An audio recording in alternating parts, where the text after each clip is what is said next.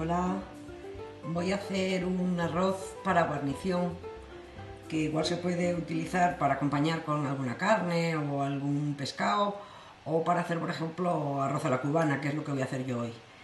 Entonces se necesita dos ajos, 50 gramos de aceite de oliva, dos pastillas de caldo, que en mi caso yo las tengo en forma de gel, pues dos de ellas, y 350 gramos de arroz. Tengo el cestillo aquí porque vamos a utilizar el cestillo y también 850 gramos de agua. Bueno, pues empezamos echando el aceite y los ajos para sofreírlos.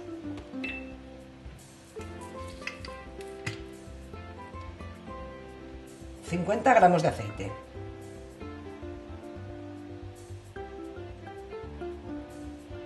Y los dos ajos. Cerramos.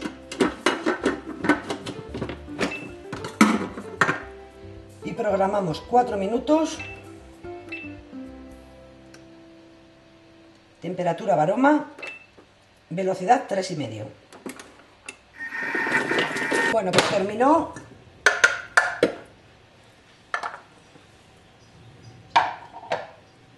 Vamos a bajar lo que los trocitos de ajo que han quedado por la Thermomix esparramados.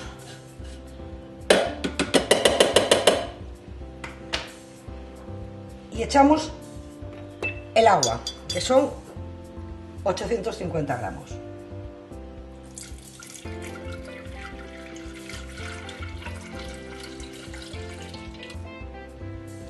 Y las dos pastillas de caldo o en su defecto la sal.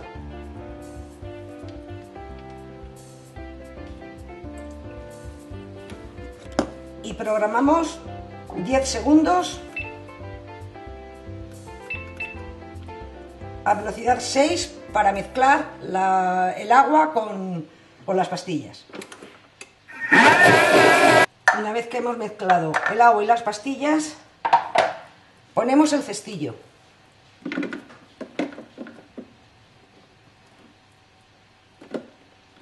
Lo encajamos bien. Volvemos a cerrar.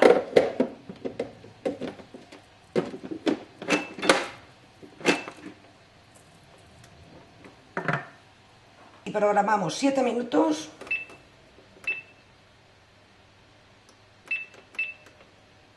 A temperatura varoma.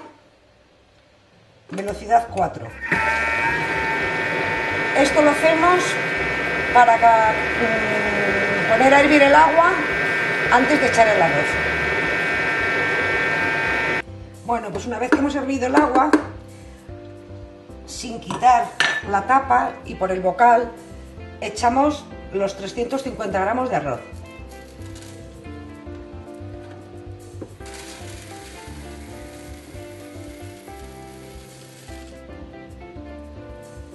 Removemos con la espátula para que se mezcle bien con el agua que ya está en el cacillo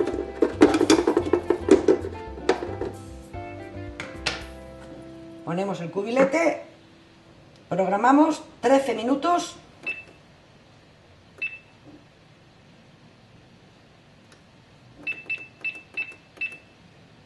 temperatura varoma, velocidad 4.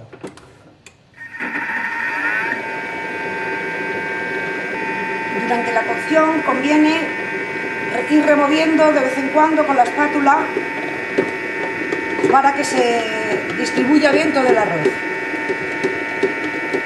Un par de veces o tres en los 13 minutos. Bueno, pues una vez que han pasado los 13 minutos, sacamos el cestillo con la espátula y con mucho cuidado porque el cestillo quema y echamos el arroz en el recipiente donde lo vayamos a servir. Como veis, el arroz ha quedado suelto. Y bueno, con un ligero tono marroncillo que es el que le da las, las pastillas de caldo. Si vosotros utilizáis sal, pues mm, ese tono marroncillo no lo tendría, lógicamente, que estaría el arroz blanco. Eh, en plato y os lo enseño. Hasta ahora. Bueno, pues como veis, mi arroz era para hacer un arroz a la cubana. Y aquí está, emplatado y perfecto.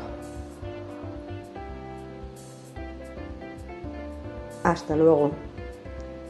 Espero que os guste.